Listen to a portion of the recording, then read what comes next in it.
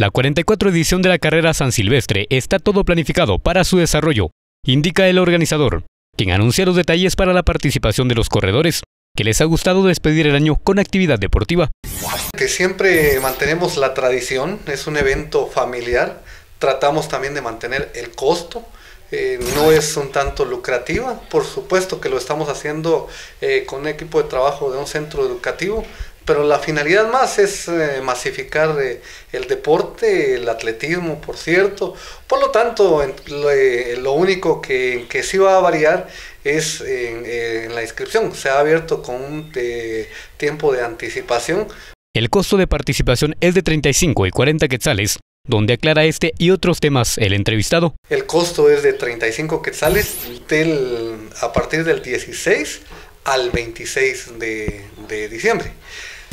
Del 27 al 31 tendrá un costo de 40 quetzales.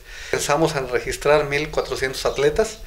Eh, eh, se implementará también hoy en día eh, lo que es todo atleta va a poder tomar salir.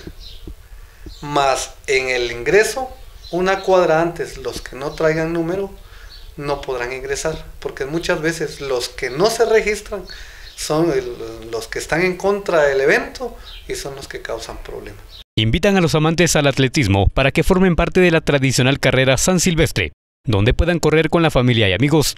Este evento de relevancia a nivel local, regional, nacional e internacional.